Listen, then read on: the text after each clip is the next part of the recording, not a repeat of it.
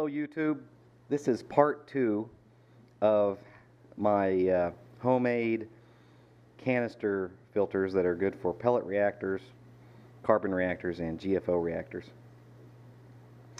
Today we're going to change out the carbon and the GFO in my reactors. Uh, I wanted to give you a hint on where I get my carbon dirt cheap. This is a five gallon bucket of Kent reef carbon that you buy at your local reef store. If you buy a container about that size right there from your local reef store, it'll cost you about 30 bucks. Now that sounds like a lot of money, but it's much better than the stuff you buy at Petco or PetSmart for $10 for the same amount. It lasts three times as long and it's very clean, no dust. And the particles are much, uh, the pieces are much harder and more uniform. Um, and there's more surface area per piece. I recommend that you don't cheap on the carbon. Now, how I get this carbon, it is the reef carbon I just talked about. But if you get uh, a relationship with your local shop that carries Kent products, you can ask them to buy you a box of carbon uh, that's two foot by two foot um, by two foot cube. And in that box is enough carbon to fill three five gallon buckets. Uh, my local shop, when they order it for me, it's like once every three or four years, charges me around $160 for that box of carbon.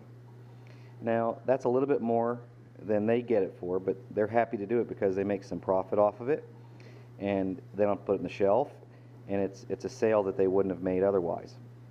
Um, but even if your shop charged you more, uh, let's say they charged you $240 for that order,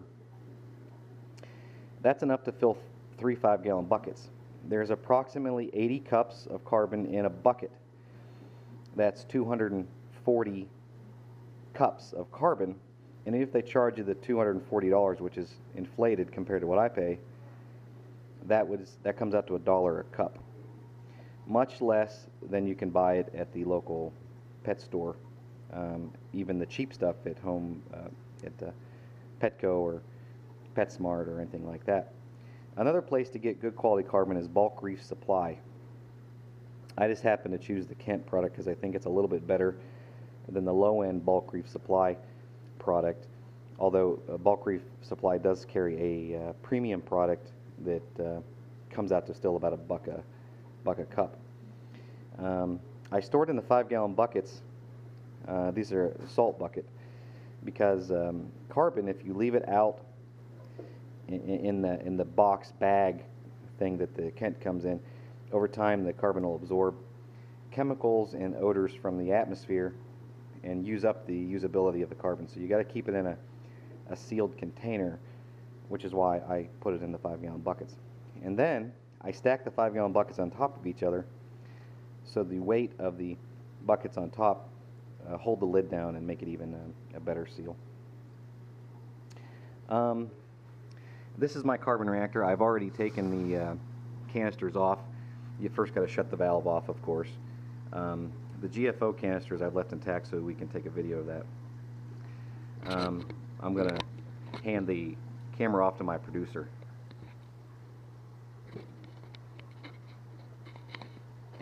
Uh, these wrenches you can get from uh, the filter guys or Bulk Reef Supply or local local plumbing store. They cost a dollar. Um, on here is a direction that says uh, close or open. It doesn't matter which way you stick it on. Just follow direction. Uh, that says to close it, so we're going to pull. I've already shut the valve off on this uh, we're going to pull it uh, to open. Now expect some water to come out of this, which is why I have a towel here. Um, if your plumbing piece on the opposite end is below water level, lift up on this while you do it. And expect about a cup of water or so to fall out of the reactor. Now I have a bucket here. I Stick it down in the bucket. Now this is a, a, a refill of carbon that I've already uh, filled up with the Kent carbon and rinsed in the sink. The better the carbon, the uh, faster it will rinse clean. It only takes maybe 30 seconds to rinse this. The cheap stuff at uh, Petco, even their premium product that they carry, takes a good four or five minutes to uh, rinse off, so uh, to get clear. So uh, just keep that in mind. That's a sign that the product is not very good. Now we take the canister that I removed from here and we stick it down in there.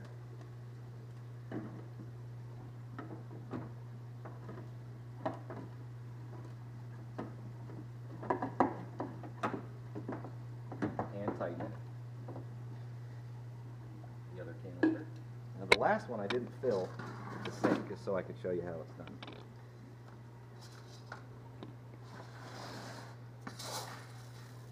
These hold approximately three cups of carbon.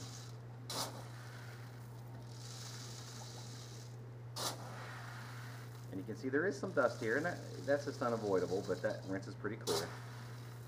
Now if I was doing this to the sink,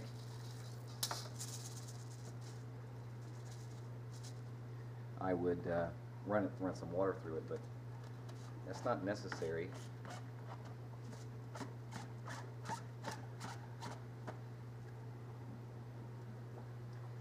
Put this down in the canister.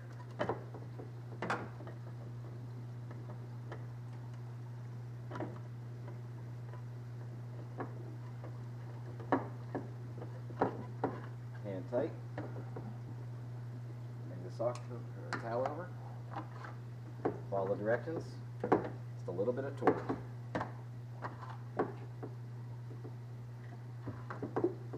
Now, if you didn't rinse the carbon at the sink, simply take a sock that you have laying around the house, stick it over the return, turn your valve on. The canister will fill up from the outside of the canister and then go up through the carbon, spill over, same process.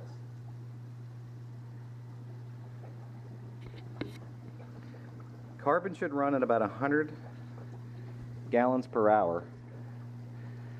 Uh, no more. You don't want to fly in through there. 100 gallons per hour.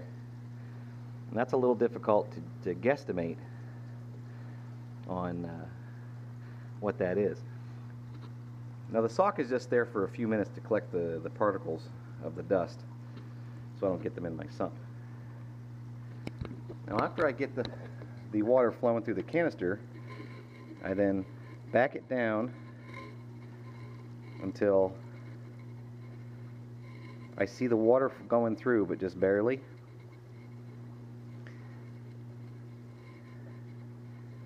And there we go. That's the process of changing out your carbon or your GFO in your reactors that I showed you how how to set up.